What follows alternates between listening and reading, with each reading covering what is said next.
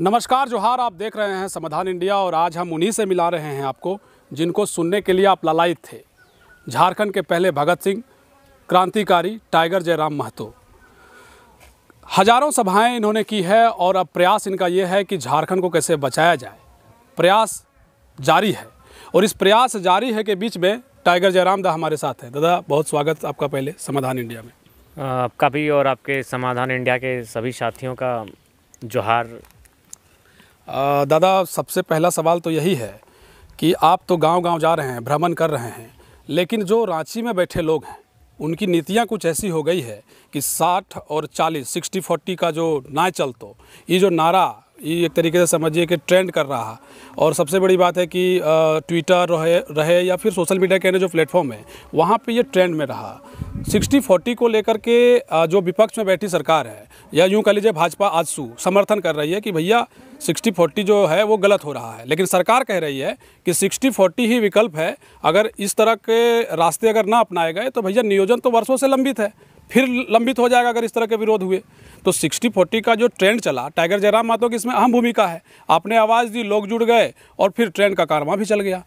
जयराम मातो क्या कहना चाहेंगे इस पर? देखिए, जहाँ तक सिक्सटी और फोर्टी का सवाल है, यह एक आम युवाओं की आवाज़ है। प्रत्येक नौजवान आज अपने नौकरियों को लेकर अपने नियोजन को लेकर कहीं ना कहीं जागरूक हो रहा है और उसे आभास हो रहा है कि बीते कुछ वर्षों से झारखंड राज्य के युवाओं के साथ लगातार खिलवाड़ किया जा रहा है और जिस कारण आज ये जो सिक्सटी फोर्टी का ट्रेंड जो भारत में आज नंबर वन रहा ट्विटर में इसका श्रेय प्रत्येक युवाओं को जाता है पढ़ने वाले उनका सपोर्ट करने वाले तमाम छात्रों को जाता है। इस पर अगर विपक्ष की बात करें अगर विपक्ष श्रेय लेने का कार्य करती है तो कहीं ना कहीं उनकी अच्छी राजनीति है और उनके दोहरी मानसिकता को दर्शाता है। क्योंकि यही सिक्सटी फोर्टी जो आज वे लोग सुर दे रहे हैं कि नए चल तो इस सिक्सटी फोर्टी को भारतीय जनता पार्टी और आजसू की जो सरकार थी, वही लेकर आई थी। और उस समय क्या नुकसान हुआ, ये किसी से छुपा हुआ नहीं है। जब उस समय 2016 में शिक्षक बहाली हुई थी, उसमें बावन सीटें थी आपकी गोड्डा और गिरिडीह में मिलाकर, जिसमें अड़तालीस सीटें अन्य राज्यों के अभ्यर्थियों को गई थी और मात्र चार टीचर ही बन पाए थे हमारे झारखंड के मूल निवासी। तो कहीं ना कहीं ये जो पॉलिसी है, ये भारतीय जनता पार्टी और आजसू की सरकार की पॉलिसी थी। और आज अगर वे विपक्ष में बैठी है और आज अगर इसका समर्थन कर रही है तो ये केवल और केवल पॉलिटिक्स कर रही है। अगर उन्हें वास्तव में झारखंड की अस्मिता से प्रेम होता तो अपने कार्यकाल में एक बेहतर नीति ले आती जो आज तक सर्वमान्य होती। और जहाँ तक वर्तमान सरकार की बात है, आज कहीं ना कहीं इनकी मानसिकता सही नहीं है। इनकी मानसिकता सही नहीं रहने के कारण आज राज्य के युवाओं को इतनी परेशानियों का सामना करना पड़ रहा है। सबसे पहली बात जब आपकी राज्य जैसे आपने सरकार बनाया इस राज्य में 2019 में आपको सबसे पहला काम ये करना चाहिए था कि आपने किन मुद्दों के साथ सरकार बनाई है। आपका मुद्दा था नियोजन कि हम पाँच लाख प्रत्येक वर्ष नियोजन का सृजन करेंगे। आपका मुद्दा था कि यहाँ के जो सीएनटी की ज़मीन है एस की ज़मीन है उनको संरक्षण दिया जाएगा। उसके बाद जो स्थानीय नीति पूर्ववर्ती सरकार ने बनाई उसको निरस्त किया जाएगा। तो जिन मुद्दों के साथ आपने सरकार को अपना बनाया था उन मुद्दों को सबसे पहले आपको धरातल पर लाना था।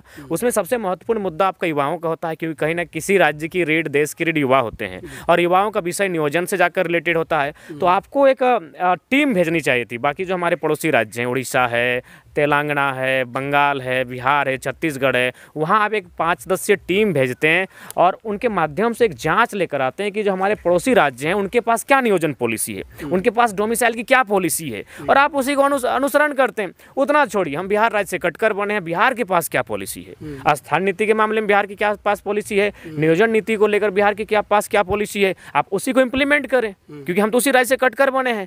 तो देखिए अगर करने की इनकी मंशा होती अगर इनकी दूरदर्शिता जो सोच है वो अगर बढ़िया रहती तो आज युवाओं को इतना हताश नहीं होना पड़ता। तो कहीं ना कहीं पूर्ववर्ती सरकार भी दोषी है और जो वर्तमान सरकार आज बैठी है केवल और केवल अपने गवर्नमेंट को बचाने के लिए। क्योंकि जैसे ही देख रहे हैं ईडी का छापा पड़ रहा है सीबीआई कमर कस रही है तो इन चीज़ों से बचने के लिए राज्य की जनताओं का सिंपैथी को गेन करने के लिए ये कभी खतियान आधारित नीति को लेके आती है।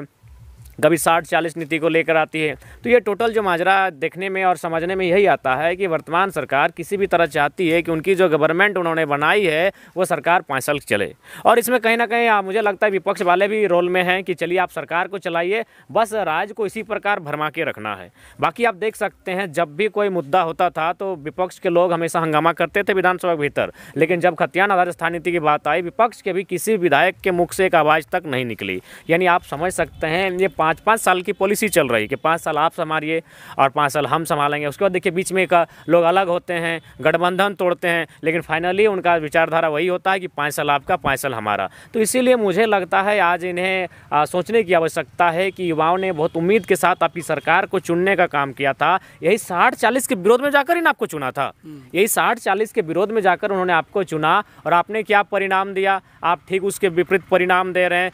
तमाम नौकरियों का बाहरियों को बेच रहे हैं। आप देख सकते हैं धरती आबा बिरसा मुंडा की जयंती जो पार हुई उसमें आपका इंजीनियर की बहाली ली गई लगभग 270 के पोस्ट के आसपास। उसमें जो ओपन कोटा था उसमें 96 परसेंट जो इंजीनियर बन के आए वो अन्य राज्य के अभ्यर्थी हैं। तो यदि सभी विभागों में अन्य राज्य के दबदबा हो जाएगा यहाँ के जल ज़मीन जंगल के अलावा यहाँ के कल कारखाने नदी नाला यहाँ की फैक्ट्रियों में यहाँ की नौकरियों में अगर अन्य राज्यों का ही अधिकार होगा अन्य राज्यों का ही दबदबा होगा तो ये झारखंड हमने क्यों लिया था। एक सीधा सा सवाल है कि झारखंड राज्य हमने लिया क्यों था? तो इसका उत्तर बेहतर होगा, वो गुरु जी के सुपूत हैं, कहते हैं, विधानसभा के भीतर कि हम आंदोलनकारी के सुपूत हैं। तो आप ही बताइए कि हमने अलग झारखंड राज्य क्यों लिया था? गुरु जी जीवित हैं, उनसे जाके बात कीजिए कि अलग झारखंड राज्य हमने क्यों लिया था?